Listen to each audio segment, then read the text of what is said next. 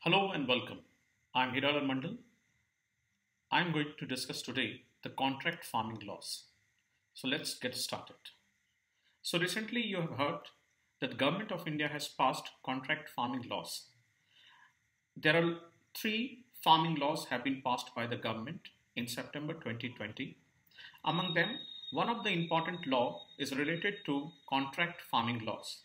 So we'll discuss about the pros and cons of contract farming laws.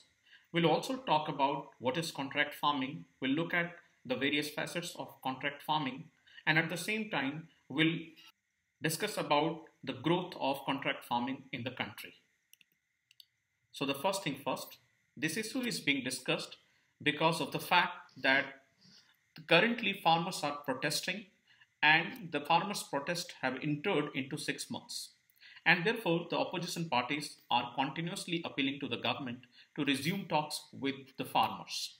There is one criticism that is made against the government that they have introduced the laws without adequate consultation with the stakeholders.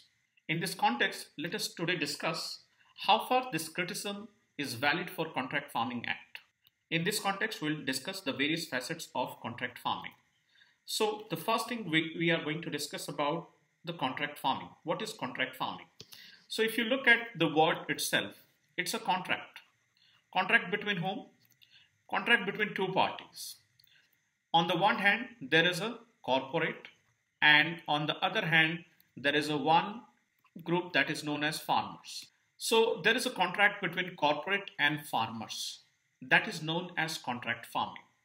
However, under the contract farming, the corporate will be buying goods produced by the farmers and also the corporates will support farmers in various ways. They may provide credit to the farmers, they may provide skills to the farmers, they may provide input to the farmers. So there is an assured market will be available to the farmers under the Contract Farming Act. And under the, this system, what do we see that this will help in raising production in the country. This will also help the economy to improve the agricultural production and productivity in the country. It has a potential to bring a sea change in the agriculture sector. The farmers will get an assured market, so therefore they will get benefited in various ways. Their income will rise. So in this context, you see the contract farming is an important development so if you look at the literal meaning of contract farming, it says it can be defined as agricultural production carried out according to an agreement between buyer and farmer, which establishes conditions for the production and marketing of a farm product or products. Under this, the farmer agrees to provide agreed quantities of specific agriculture product. Along with this, the farmers also need to provide the quality standards and the supplier will get the product. And in turn, the buyers commit to purchase the product and in some cases to support production through various ways. Okay, it may supply the farm inputs, land preparation, and the provision of technical device. So that is the contract farming. So it's a contract between farmers and corporates. And under this contract, the buyers will be buying the goods produced by the farmers. So that is the basic meaning of corporate farming. Now there are various models of contract farming. If you look at across the world, there are various models that have been developed. So if you look at the models, there are mainly five models of contract farming that you can see across the world. One is the centralized model. Another is known as the nucleus model, which has come out from the uh, centralized model itself. There is another model that is known as multi-partite model. The fourth one is informal model and the fifth is intermediary model. We will look at these models, how it works in a very brief. So the centralized model, under the centralized model, it involves a centralized processor and they buy goods from a large number of small farmers. So there is a sponsor or this corporate this corporate will buy goods from a number of farmers. So this is basically a centralized model. Under this one, the corporate will have a control on its product. So it will control through its management and administration.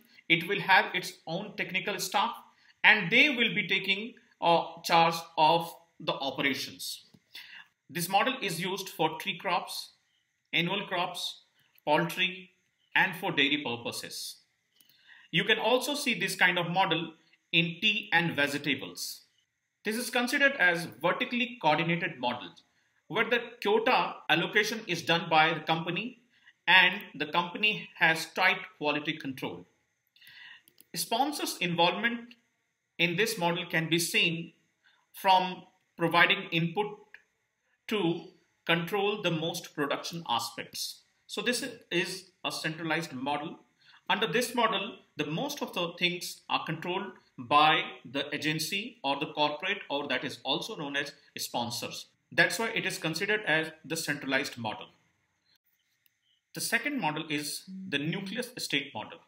It is a variation of the centralized model itself where the sponsors also manages the central estate or plantation. So under this model, the corporates or sponsor also manages the central estate.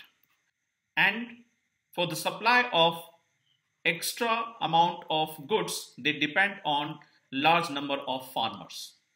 This is often used with resettlement and transmigration schemes it involves a significant provision of material and management inputs. So what does happen under this system is that there is a central central estate. These states provide a lot of support to the farmers in terms of material and management inputs and then they get the product from these farmers. Okay? In that sense it becomes a bigger buyer. So that is the nucleus estate model. Now the third model is the multi-partite model this model involves a variety of organization frequently including statutory body so the government bodies are utilizing in these purposes so under this model it can develop this from the centralized or nucleus estate model through the organization of farmers into cooperatives or the involvement of financial institutions. So what happens under this uh, institution that you see, there is an international company and there is a provincial company. This international company makes a joint venture with provincial company. The similar kind of arrangement that we have seen in 1988 when the PepsiCo was allowed to work in the contract farming with Punjab Cooperative Society. So the similar arrangement is considered as a, the multi-partite model. So under this model, there is a joint venture. Now, with this joint venture, the provincial company has a capacity, its capacity gets increased. Now the provincial company has its own branches across the district or at the local level in the country. So therefore, they operates with the help of this international company. Now the various professionals of the provincial company works along with village committees who are representing the farmers in the village. So therefore, here in this model, you see there are a lot of people engaged and there are a lot of system or companies engaged in this process. So that's why it is called as the multi-partite model. Under this one, the agreement is not happening between the farmers and the company directly. Okay, so this kind of model is often used when the contract farming process is in its nascent stage because the farmers need to be protected and they are protected by the government or provincial company. The next is another model that is known as informal model. This model is characterized by individual entrepreneurs or small companies. So there are a lot of individual entrepreneurs or small companies. Okay, so these small companies involved in informal production contracts with the farmers. It involves greater risk of extra contractual marketing. So under this one, you see, being an informal organization, there are no formal contracts into in the system. And therefore, there are a lot of challenges in the informal model. This kind of model can be seen in the developing countries and the area which is underdeveloped. There is another model that is known as intermediate model. Under the intermediary model, it involves sponsors in subcontracting linkages. So there are major sponsor and this major sponsor have sub-sponsors across the regions. These sub-sponsors are responsible for collecting the goods from the farmers. So that's why it is considered as intermediary model because there is existence of the subcontracting. There is a danger with this system as the sponsors might lose the control over the production and the quality of the product. So that's why the intermediary model is considered as a model where again you see the producer and sponsors have no direct linkages. Now we'll try to understand how this contract farming will help in the farmers to gain more money and at the same time what are the challenges that it poses to the farmers. So first we'll look at the advantages. So the first advantage you see the farmers will get input and production services from the sponsors. Now, if you look at the current situation in agriculture, the input cost is rising. The farmers don't have sufficient money, therefore, they are not producing enough goods. So, here the problems of input will be addressed by the contract farming, where the sponsors will provide input to the farmers. The second benefit that the farmers will see that they will have access to the credit. Now there are a lot of farmers, they don't have access to the credit. Even if they have access to the credit, they have access to the informal credit in terms of money lenders and they charge huge money from the people. Third important benefit that we see in terms of introduction of new technology. So the big companies will bring new technology in order to boost production in the country. At the same time, they will help the farmers to learn new skills. This will help in increasing overall production in the country and at the same time it will also help in increasing the productivity and yield into the land and it will also help in rising the income of the farmers. The other benefit that you see, the risk with related to the price can also be reduced. Further, it opens new market for the farmers. Now the market is very limited to the farmers. Sometimes they don't have access to the market. Now there are mandis across the country, but you, if you look at the eastern India, you won't find so many mandis are there. And as a result, the market is limited for farmers. And especially the marginal and small farmers have a very limited scope in terms of access to market. So this problem can be effectively dealt in the system of contract farming. However, there are many challenges as well. So what are those challenges? There can be issue of market failure and production problems. Sometimes when the new crops are grown, if the corporate is not willing to buy the product, in that case, the market failure can have impact on farmers' income. The second is about the inefficient management. Let's say there is a contract between the two parties, but if the sponsor and the corporate is unwilling to buy its own quota, in that case, there is inefficient management or marketing problems. In that case, you see the extra agricultural production made by the farmers will have a negative impact overall in their income. Similarly, the third problem, if you see, there is unreliable or exploit a monopoly position. So sponsor companies can in fact increase monopoly into the system. So after the contract farming, the contractor can enhance its monopolistic position in the region. As a result, the farmers will have no option but to sell their product to the corporate. And in that case, the corporate can decide its rate on its own. Now it's important to understand here is that the corporate that the agreement is between the two uneven players. So that's why the farmers have a less bargaining capacity vis-a-vis the corporates or sponsor. The fourth problem that you see in terms of the staff of the sponsoring organization may be corrupt. In that case, there can be misallocation of quotas to the farmers. Another problem that you see in the context of farmer is that when there is a production problem and excessive advance, there can be issue of indebtedness to the farmers. So there are challenges as well as some advantages. At the same time, you see there are some challenges with respect to the sponsors uh, also. So the first advantage that you see with respect to the sponsor that it is a more politically acceptable thing, especially when the contract farming is working with the small farmers.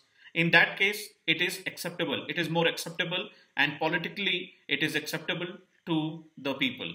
The second uh, benefit that you see in terms of uh, sponsor, the sponsor can overcome the land constraints. There are land constraints. The sponsor cannot have direct access to the lands. When the companies work with the small farmers, they can overcome the land constraints. They can get assured supply from the farmers.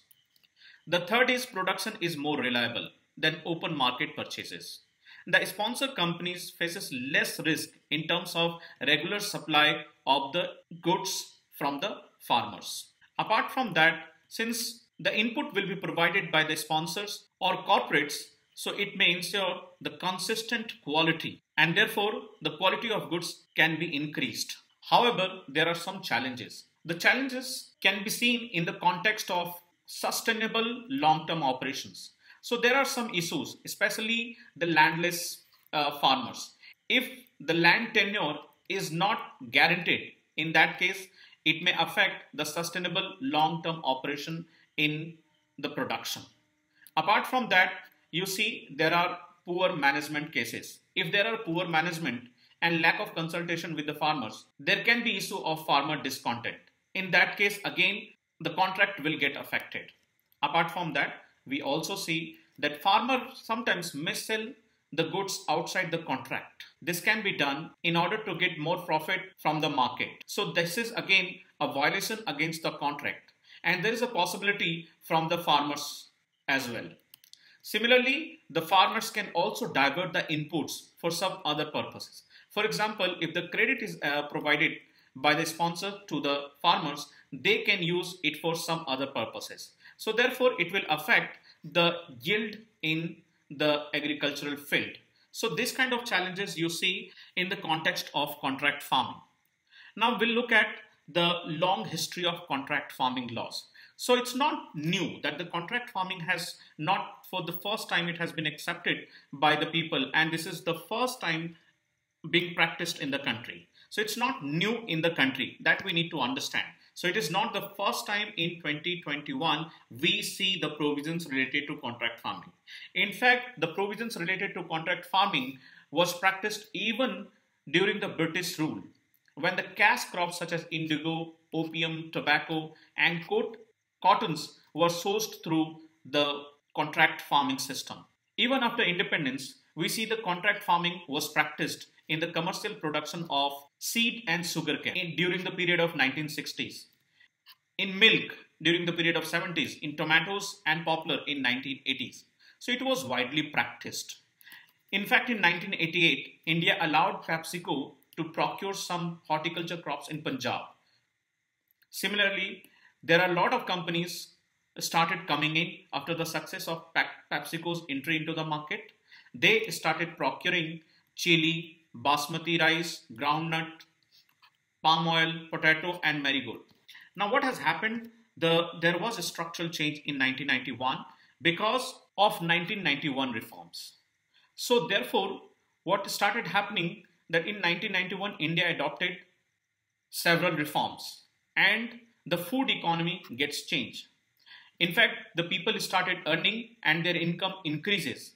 As a result of this, there was a rising domestic demand for high value agriculture products. So there was demand for protein goods, there was demand for vegetables and fruits increased in the market. So therefore, the structural change is required in 1991.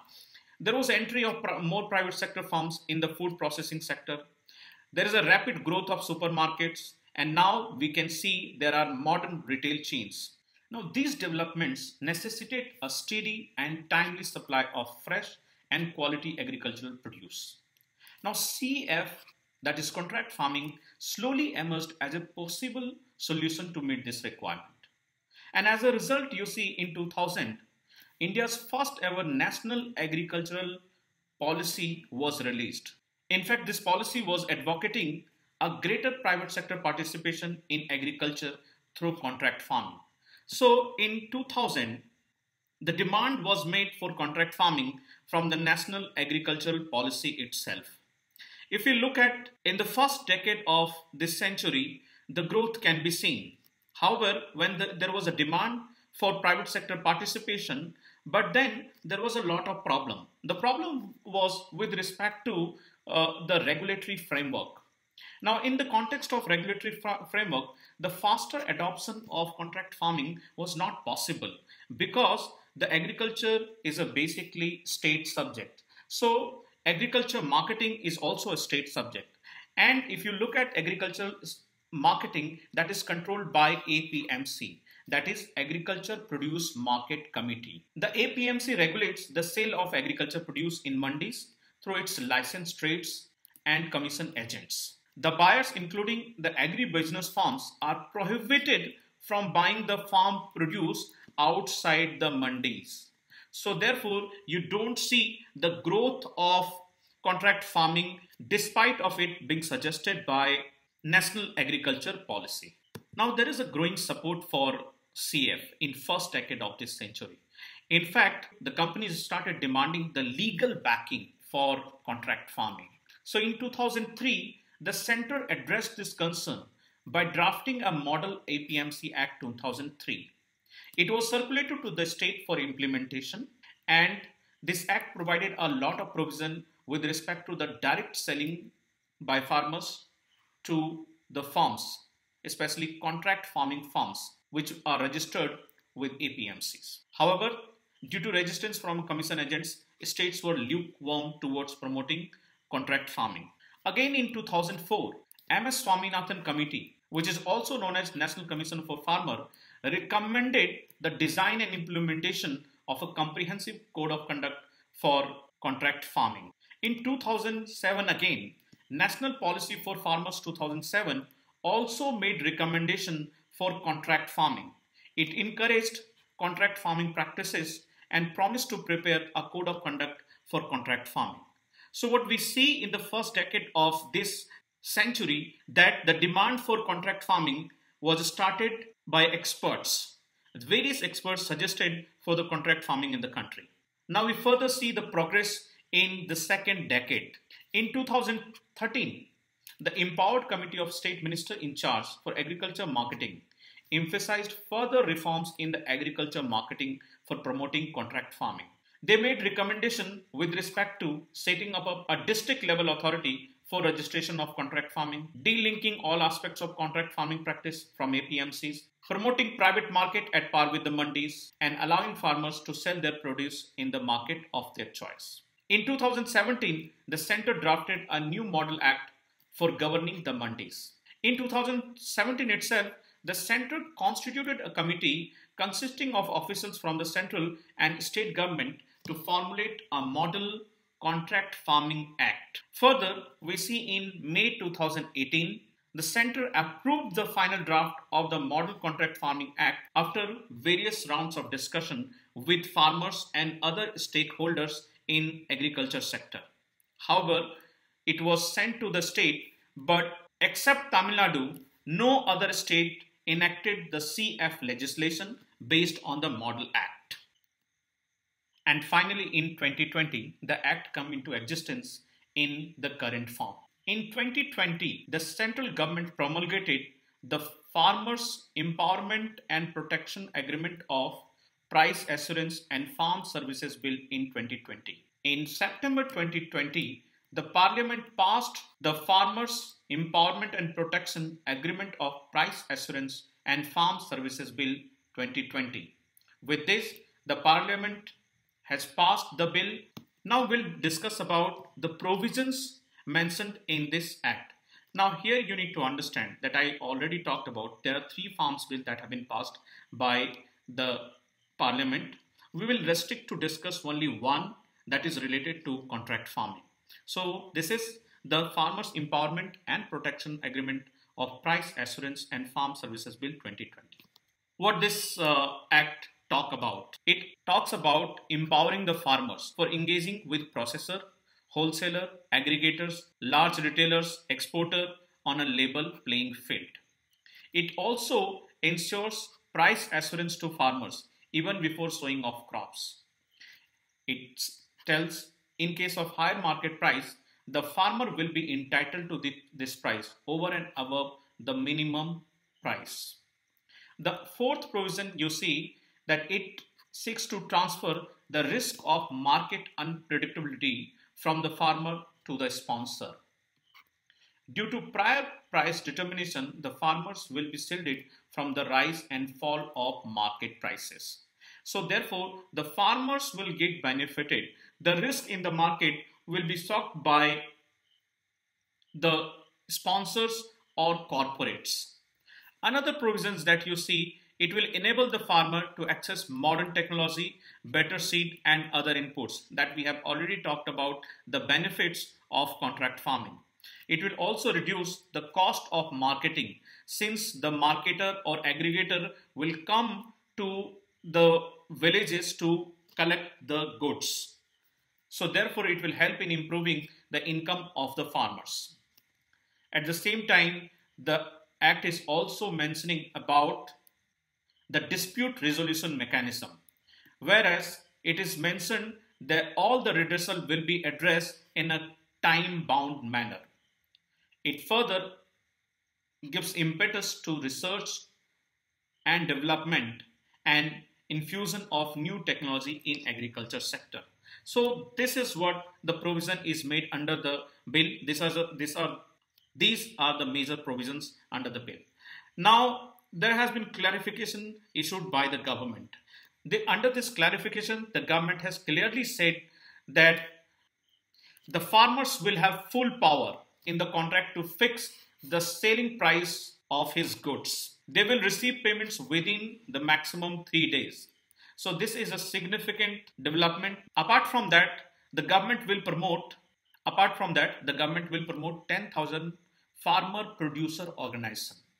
These farmer producer organization will bring together the small farmers and will ensure that remunerative pricing of farm produce is given to the farmers.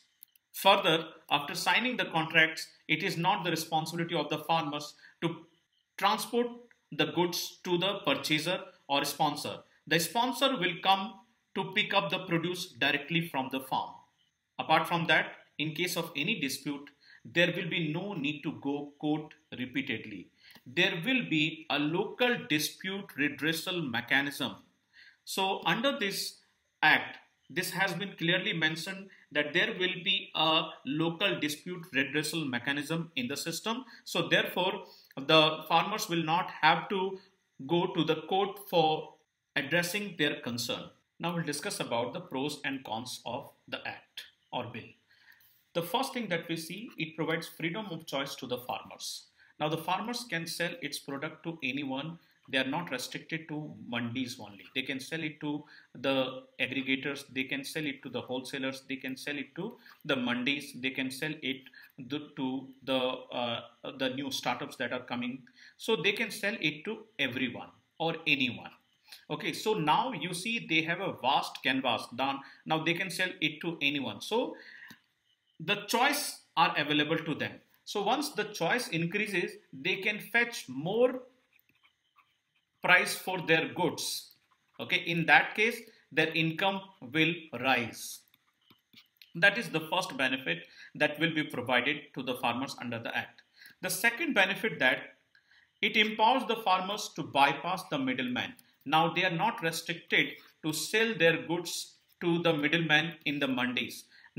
These middlemen basically charge the rent from these farmers. As a result, they are not entitled to get all the benefits by selling their goods into the mandis. Now what will happen? The farmers will not have to pay to these middlemen. So therefore they will be entitled to get the benefits by selling their goods. The third benefits under this act is that it formulates a standard framework on the agreement that will help the farmers to involve with agribusiness companies, retailers, exporters directly. Now there is no requirement of middleman into the system. Okay, now they can directly contact with agribusiness companies, retailers, exporters and so on. Now the farmers will have access to modern technology, skills and so on. So these are the benefits or these are the pros under the bills that we can see. However, there are some challenges to the bill. There are some cons of the bills as well. The first thing you see, the farmers will expose to the corporates. Here you need to understand the contract farming is an uh, agreement between two uneven players. It is not agreement between two even players. So here in this case, you see the farmers will have a less bargaining capacity. They are weak. They will not be able to fight in case there is a dispute between farmers and the corporate. They will not be able to fight with these corporates. The second cons we see in terms of the difference in terms of reality and what is suggested under the article. Now it is said that the companies will be providing lot of benefits to the farmers. However, in reality, we see the farmers are not getting all the benefits. When there is a uh, increase in the goods prices in the market, in that case, they force the farmers to sell their product to them. Now, what happens when there is a price reduction? In that case, the farmers are in a disadvantageous situation. Corporates are not willing to fulfill its obligation. The third problem we see in, in the context of uh, the monopoly that can be created by the corporate itself. Now, it is suggested that the current act will help in reducing the monopoly of APMC. However, there is a probability that an ecosystem of monopoly is created by the corporate institution itself. Now, you cannot avoid the fact that market runs in a different way. There may be collaboration and collusion among the corporate or big corporate institution and in fact that practices may harm the farmers and this is what happens in a capitalist system. So this is what the kind of problem that the farmers may face into the system. So what we have discussed under this video First, we have talked about the context, why we are discussing this particular thing. Now, the second thing we have discussed about the contract farming, we have seen its definition. We have seen uh, what is contract farming, what are the benefits, what are the challenges of contract farming, uh, whether it is uh, benefiting to the farmers, whether it is benefiting to the uh, sponsors. After that, we have seen the, the, the development of contract farming in the country. We have also seen the recent contract uh, Farming Act that has been passed by the Parliament, and we have also looked at the pros and cons of the bill. So, this is the discussion uh, about the contract farming laws. Now, I hope you have understood everything in this video. Thank you.